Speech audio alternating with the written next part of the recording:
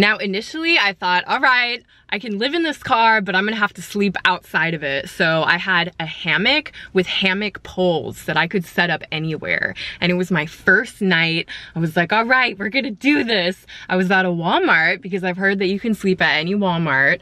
And I was setting up my tent poles, or not my tent poles, I was setting up my hammock poles, getting ready to sleep. It was dark out. I actually set up right next to this.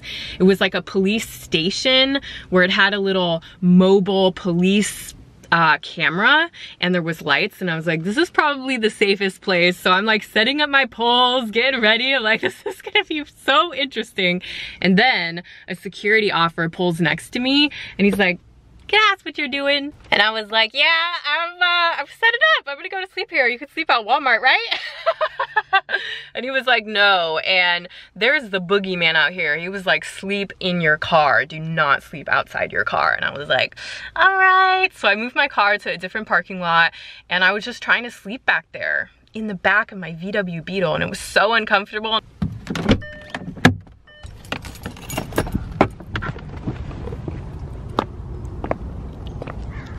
But then I slept in it another night and another night and I realized, all right, if I set my things up in such a way, I'm able to stretch out. And then I had a vision of, oh my goodness, this is how we can make it work that I can actually sleep in here comfortably. And then after that happened, there's some other things that just really dialed in my setup.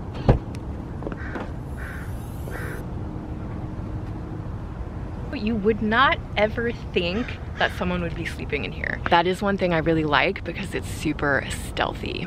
So this is what I sleep on and I wanna try to show you it a bit better. It is a wood platform and then underneath it uh, there is some storage. So at night, this is what I have to do. I go in here, I pull this forward and then this platform here is on hinges. By the way, I contacted my friend who can build anything and he built this for me using just recycled random wood pieces that he had just lying around his house. So this is nothing fancy at all. This is just kind of working with what you working with what you got basically. So two pieces of this super thin um, board here, which does make it pretty light and nothing is in here permanently. I can just lift this whole thing out really easily. So this had a back seat and I took that out. Or my friend, my friend Will took that out.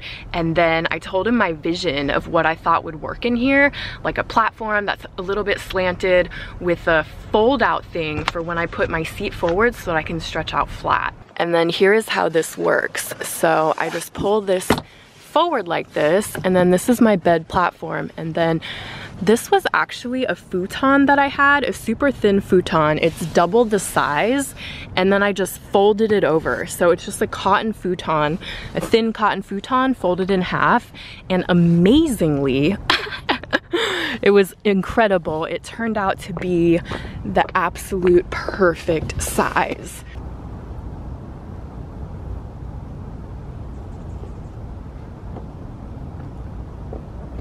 And then as you can see, there is my bed platform that I can totally stretch out on.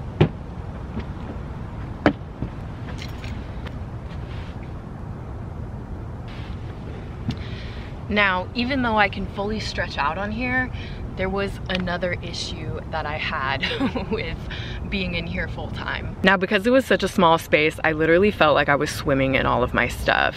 And even before I built the bed platform, I was like, you know what, this isn't gonna work. Like all my stuff is just all around me and it just felt not good. So I was fortunate enough to be able to get a roof rack and a cargo box. And that is 100% thanks to my amazing subscribers who really helped me out and helped me get this set up. And this just opened up my whole existence and was just the best the best decision ever in the history of the universe um, because I was able to put up so much stuff in here.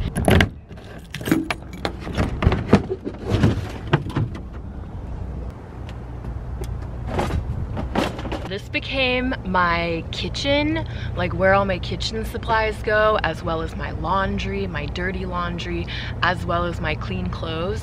Just so much stuff I was able to put up here and make more space for what I needed in there. Now, I'm not currently on the road, so I don't have my clothes in here or anything, but you can get a good idea of what I do have up here. This is my stove, um, some fuel for my stove, toilet paper, another little stove, my uh, toaster oven, um, pots and pans, other cookware and things. Um, I also have my yoga mat and then I was also able to have bedding up here, like I said, clothes and things like that. So this has just been the most wonderful, incredible addition to my space. All right, so now we're going into the car and as you can see, I've got plenty of storage space. Well, not plenty, it's not a ton, but it is storage space that I can use underneath my platform. And as you can see, this is how it is uh, it's just resting on these two legs here and then smaller legs there. And the boards were actually cut specially so as to fit the space. Above my head. All right, so I'm not on the road at the moment, but I'm gonna show you a couple things that I do have in here when I am on the road. So something that's super essential for me are these. These are my blackout Reflectix that I made, and these just go in my windows, and let me tell you what, so freaking crucial if you're sleeping in your car or a van or whatever to be able to block out the light as well as just create a bit of privacy. One of the best things that I ever made. for life on the road. And then how I have this when I am on trips and stuff is I have a fridge that I put here. So a fridge lives here and then I usually have some dry food stuff back here. So that's kind of this whole space completely taken up. And then I actually have this little water right now, but when I'm on bigger trips, I have a five gallon jug and that usually sits here. But there has been a new development in my life and it is my wonderful kitty Ambrose. So I've been enjoying bringing him on trips, but oh man, I can't really picture bringing him on a long trip in this car because it's so small and I have to have his litter. I've been putting his litter here um, and as you can see he spilt some. I need to get a vacuum and clean that but it's tricky to fit everything as well as my wonderful Ambrose and everything that he needs um, into this car. Like I've taken Ambrose on a couple trips, but I didn't bring like the full setup with the water and everything that I would need on a longer trip. So let me show you this other really cool thing that helps me out tremendously. So under here I have my Jackery. It fits perfectly right here. It's incredible. When I first got this, I was like, oh my God, where is it gonna go? By the way, thank you so much Jackery for sending this to me. Um, and this fits in there perfectly. Like if it was another millimeter, inch, centimeter, I swear it would not fit. So it's amazing that it fits here. This powers my fridge and any other electrical appliances that I need powered and it's just so wonderful that it fits there because of the nature of this being such a small space. Thank you. Thank the heavens. It was really a moment of like, oh my gosh, if this doesn't fit here, like where the heck is it gonna go? This little pocket on the door here, uh, I was using for spices because I'm not currently uh, on the road right now. I've took them all out, but I had like a salt grinder, pepper grinder, and just a couple other spices that I would use when I would cook and stuff like that. Um, back here, I've just got some incense.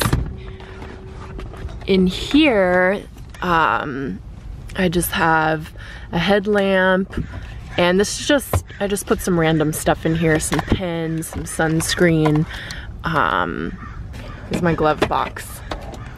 So my glove box is really small and I just have some important car papers. Um, I have my pStyle, I have some toilet paper, some wipes, why, you might ask, would I turn such a tiny little car into a camper? And it really is just a situation of work with what you got. This is what I had at the time.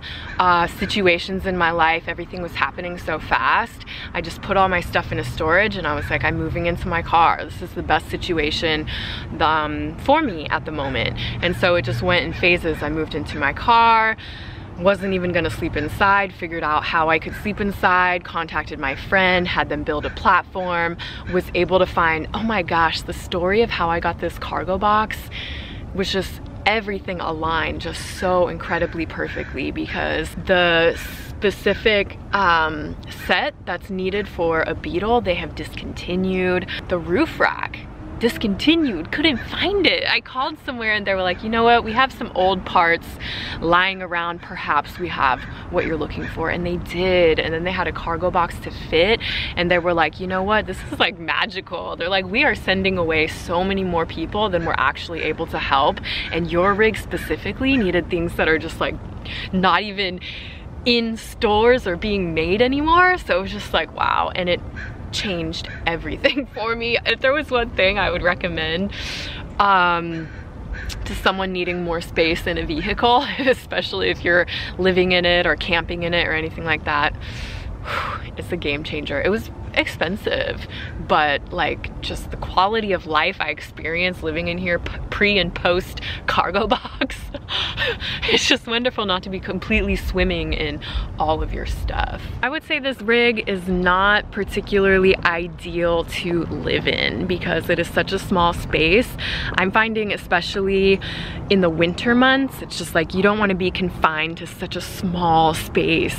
When this is closed and my doors are closed, but then this is open, it's like, oh, and especially when I have my fridge and my other um, my dry foods thing and my water, it's just like there's no space in there. There's nothing to do except lay down and you can't even sit up. Can't even sit up. Like your option is basically to lay down. And especially in the winter months, it's just like, ah, uh, it's just not as comfortable. So I would definitely say that this is an amazing option if maybe in the summer, if you're traveling around, you don't need a lot, you know what I mean? But to live in or really go on long trips in in any kind of weather. Um, obviously bigger, you have more space. I'm honestly so happy with this setup for this vehicle. I feel like it just can't really get much better. Or maybe it can, you let me know. Have you seen a better one? it could very well be. This cloth that's around this, this was actually a cloth given to me from my dad. It's an African cloth and I just took it to where I got the futon and I had them sew it into a cover. So that's how I got such an awesome cover. It's actually a custom made to fit this folded over futon absolutely perfectly and I love it so much. Whenever I look at it, I'm just like, dang, that is so friggin' awesome. So I feel like this setup has proven that you can make any car into a micro car camper. Honestly, if you were any taller than me, I don't know if you could fit in here. Potentially, you could make the platform more of a diagonal, but that's gonna take away from other space.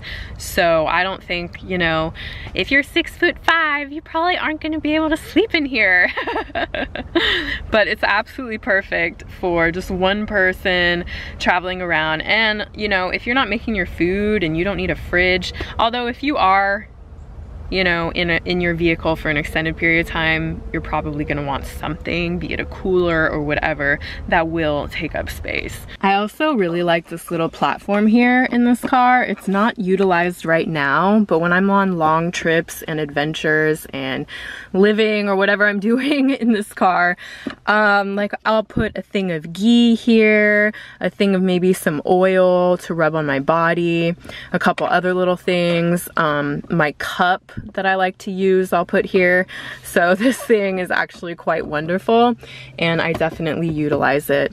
And then these plugs as well. Like this is how I'll plug in my fridge a lot and then I'll also plug in, like right now, my Jackery's plugged in. So it's actually really nice having two ports um, because I utilize both of them. I don't have it on here right now, but when I am in here I actually have this backpack that I hang on here and then I have various things in a backpack that's just on this seat and then whenever I'm sleeping or pulling out this, I always put this forward and this just gives me a little bit of space. And something that is really nice about this space right here before it became the cat uh, litter area is that I could open the door, come in here with my shoes on, uh, which is nice if it's raining and stuff like that and it's just difficult to take your shoes off outside. I could come in here, crouch down, take my shoes off, leave them there, and then go back in here without any shoes on. And then if I need to get out, let's say if I have to pee or something, I can put my shoes on right there and get out. And if it's rainy or kind of muddy or anything out there, uh, I just leave all that mess right here and then I can go back here. Now that option wasn't available to me when I was just swimming in my stuff before I dialed in everything, like figuring out, all right, this is the best for that, that's the best for that, that's where that can go the best, you know, stuff like that. Before that, I didn't have this area to come in and out of. And it really, it's just the little things when you're confined to such a small space, the little things of how to utilize the space and things to make life the most comfortable is kind of the name of the game. And then over here, because I wasn't having anyone in my passenger seat, I just put this rope here to keep this. So this is a table that if I want to, I can set it up outside, I can do some cooking on it, and just have a little table for various purposes.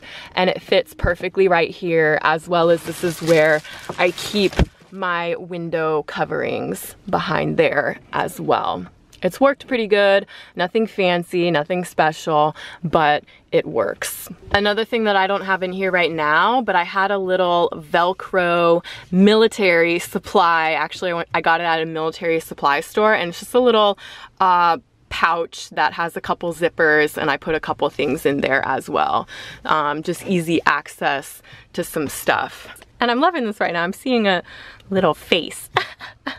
He's a happy little dude. Also, this is a really special thing that I have hanging in my windshield. I got this from a temple in Thailand. And if you've ever been to Thailand, there's so many temples, but this one was very, very special. There was some crazy juju going on there.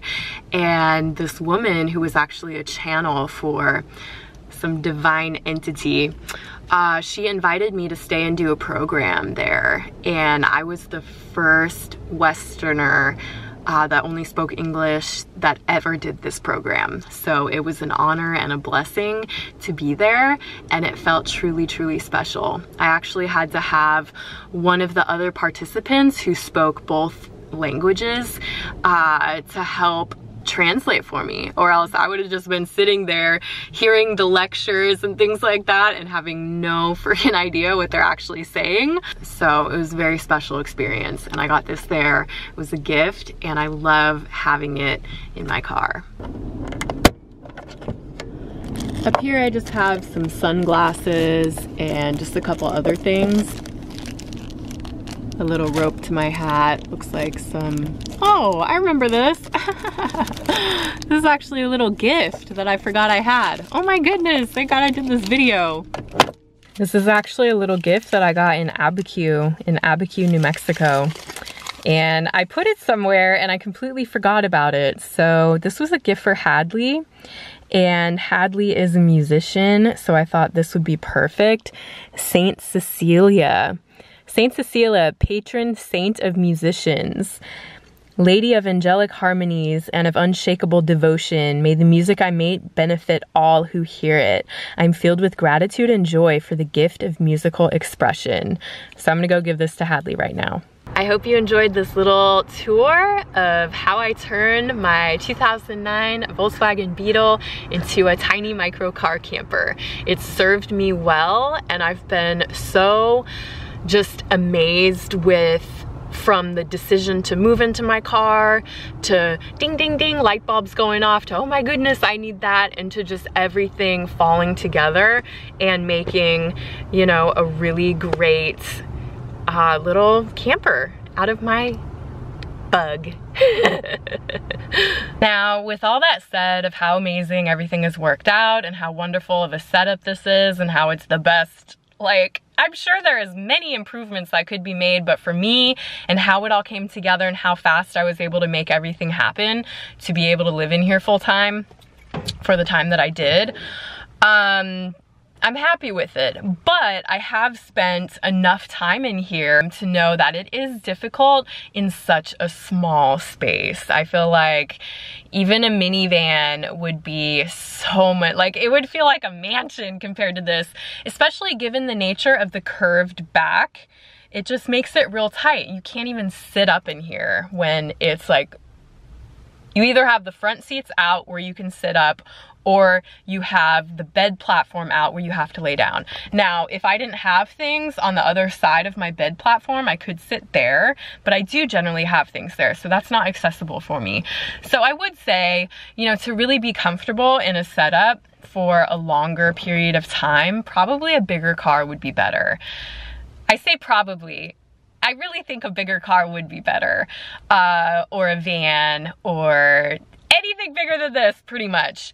But if you're working with what you got and you just wanna do some trips, you can make any car, even one as small as this, into a little rig where you can drive anywhere, you can sleep in your car, you don't have to pay for motels or hotels or camping if you don't want, and you can do some stealthy fun stuff.